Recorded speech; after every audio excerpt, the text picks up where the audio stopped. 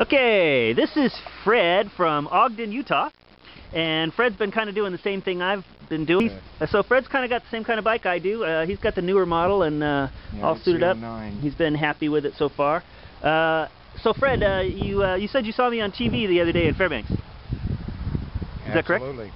And uh, what do you think of the story?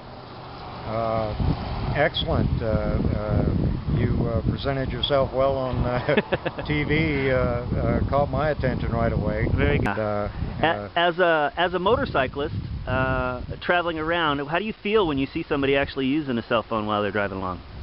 it's a be aware uh, situation.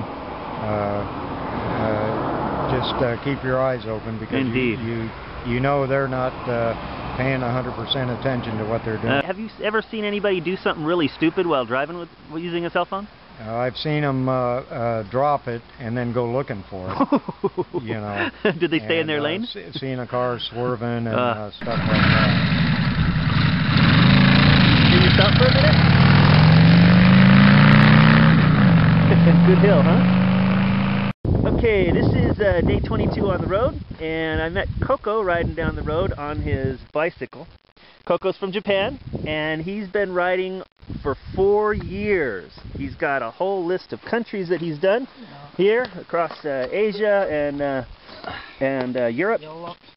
And uh, he's uh, he's writes for a magazine, but basically, why are you doing this, Coco? Uh, I'm watching about the history about the local people and the local cultures. Of course, basket travel.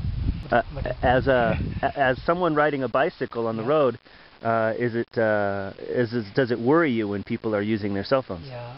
So, you know, when I was in the Yolof, I had a small accident with a um, car. Uh-huh. He was talking with mobile. Really? And it was. Uh, sorry. There, I, I, I touched his car just a little, but uh, he didn't care about me. Didn't matter. And he was on his cell phone. Okay, it's day 22 on the road, and I've run across Steph, who's from Victoria. She's been riding for about a week now, she said? Five days. About five days? day. Well, as you know, I'm riding for Ride of the Americas, and uh, we're trying to get people aware that they're not supposed to be using their cell phones, that it's a bad idea to use their cell phones while driving. Mm-hmm. Did you know that uh, 636,000 deaths a year can be attributed to people using their cell phones while they drive? I did not know that. Does that number surprise you? It does. Um, have you ever had any experiences with somebody using a cell phone while you were riding along on your bicycle? Well, I noticed not on my bicycle, no.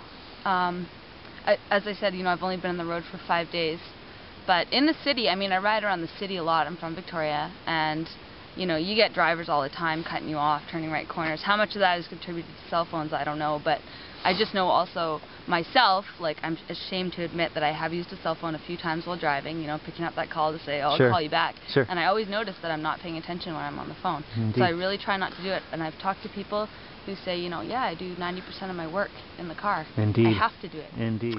Okay, day 22 on the road. I've met Bruce, who's here just uh, just south of Iskut on Highway 37, British Columbia.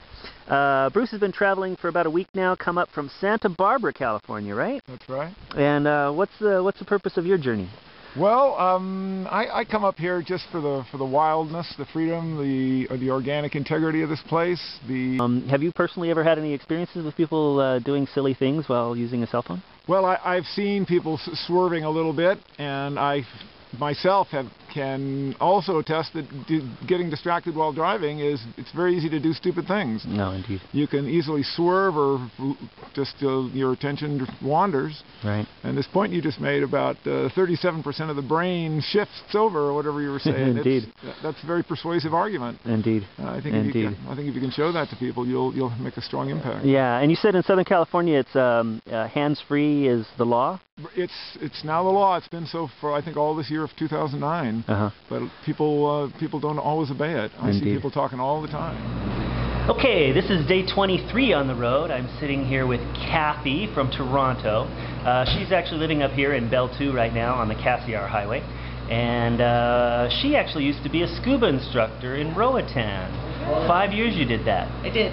I did five Amazing. years. Yeah. And uh, and then what was that as far as a lifestyle change, as far as there to here? It's coming home. Well, colder for one. Cold. Busier.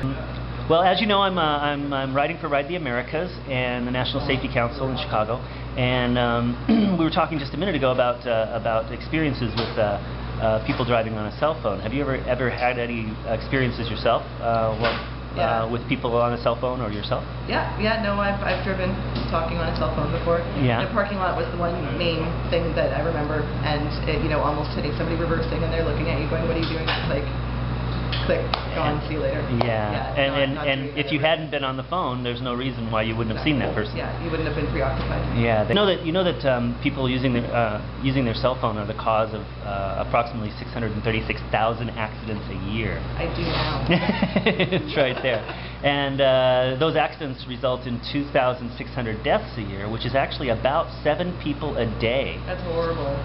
Killed just because someone was using a cell phone. Yeah. Um, I now have the mandatory. I'm on the phone rings. I'm on the phone. Like I'm, I'm driving, can't talk. all right, indeed, very good, very good. And it, and um, uh, are there any laws here in British Columbia about uh, And I driving on know, a cell phone? I know in, in Ontario they they're they're bringing it in, but not in BC that I know Okay. of. Your behavior, because everybody I've come across so far have said straight across, yeah, that's a great idea. We shouldn't use our cell phones, or they've had some kind of experience like you've had, and say, yeah, it's just not a good idea to be talking on this phone. Mhm. But then every major city I come into, I look around, and half the people sitting in their cars at the intersection are on their cell phone. So they may agree with it, but they're not necessarily uh, changing their behavior because of it. Yeah, yeah, sad, really, truly, very sad when you know that you shouldn't be doing it, and Indeed. people do it. Yeah. You guys remember that scene from Little House on the Prairie? Different prairie, of course.